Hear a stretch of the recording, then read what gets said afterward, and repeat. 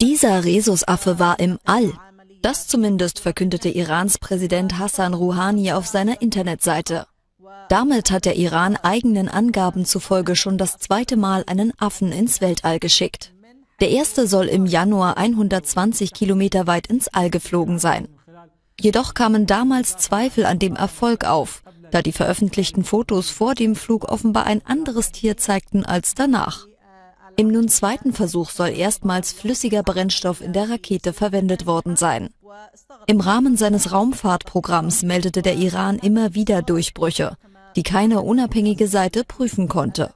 Das Land will bis 2018 einen Menschen in den Weltraum schicken.